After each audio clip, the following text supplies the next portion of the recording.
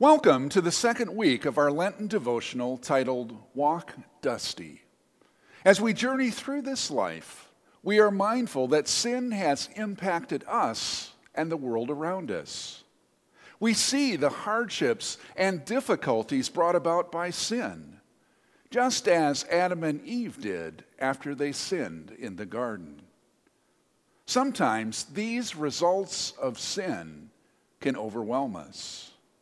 We need hope to continue the journey. We look to God to give us this hope.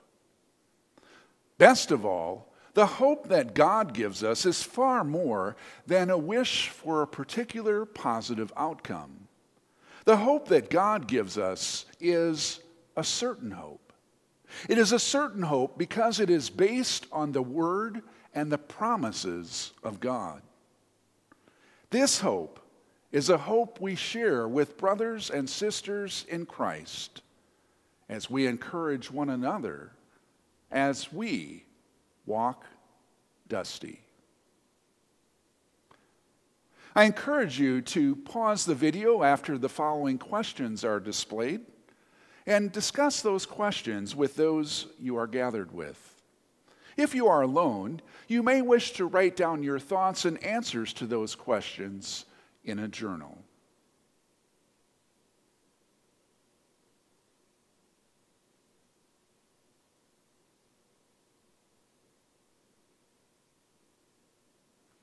Hear now the words of John chapter 11, beginning with the 17th verse.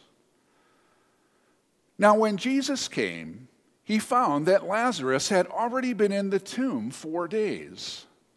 Bethany was near Jerusalem about two miles off.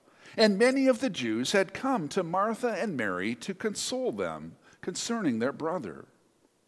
So when Martha heard that Jesus was coming, she went and met him.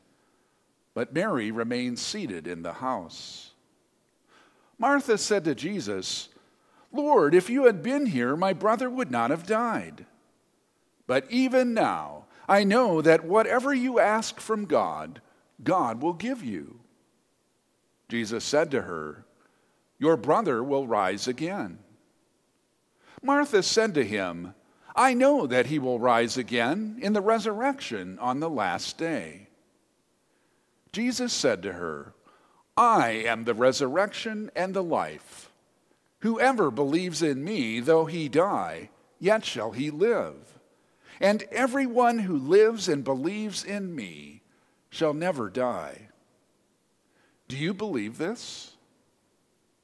She said to him, Yes, Lord, I believe that you are the Christ, the Son of God, who is coming into the world. Once again, I would encourage you to read the following questions, pause the video, respond to those questions, either with those that you are with or by writing in your journal.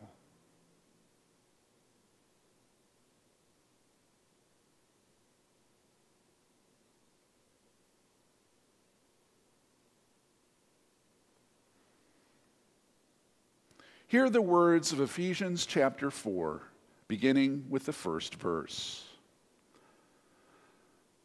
I, therefore, a prisoner for the Lord, urge you to walk in a manner worthy of the calling to which you have been called, with all humility and gentleness, with patience, bearing with one another in love, eager to maintain the unity of the Spirit in the bond of peace.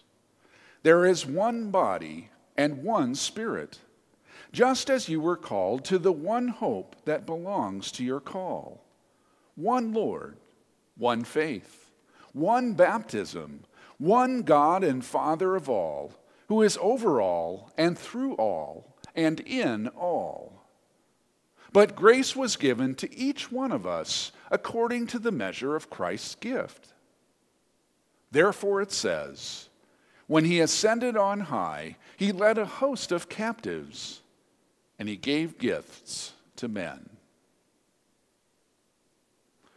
Once again, I would encourage you to read the following questions, pause the video, respond to those questions either verbally or in writing.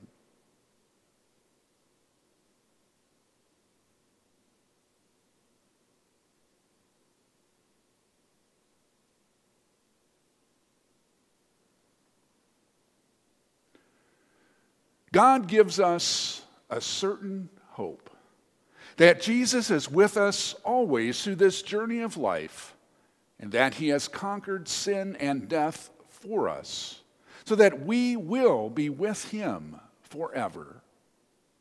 May we live in the hope of Christ's resurrection today and every day as we walk dusty.